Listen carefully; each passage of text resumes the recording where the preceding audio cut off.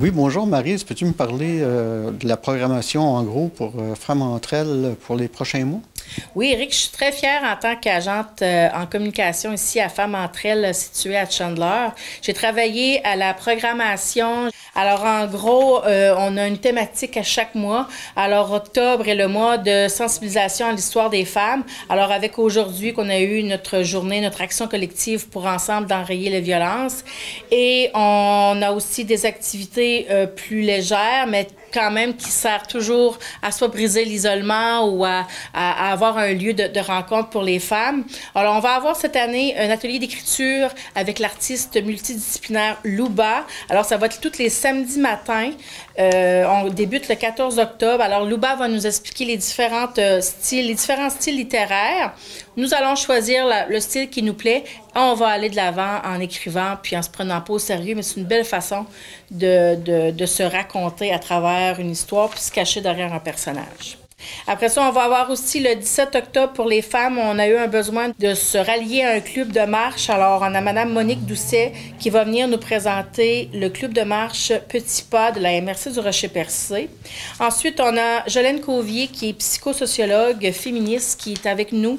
Euh, va faire euh, un cercle de parole au féminin ça va vraiment être un lieu où les femmes vont venir s'exprimer sur ce qu'elles vivent, un, lieu vraiment de, défoulement ou de partage, euh, vraiment là, comme un, groupe d'échange.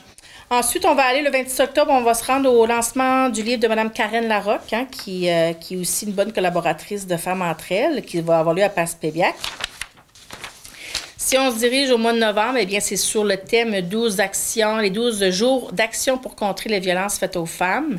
Alors, nous allons avoir initiation au tricot avec Mme Martine Baudin le 9 novembre. Nous allons avoir aussi de nouveau les deux samedis par mois, Mme Lise Lévesque va venir nous euh, faire des ateliers de cuisine, vraiment avec nous faire euh, comment faire un menu, respecter un menu, parce qu'on sait que ça coûte cher l'épicerie et tout, et combien vraiment maximiser notre épicerie on va voir aussi, justement, euh, les 12 jours euh, d'action euh, contre la violence vont être lancés le 28 novembre ici par un déjeuner causerie.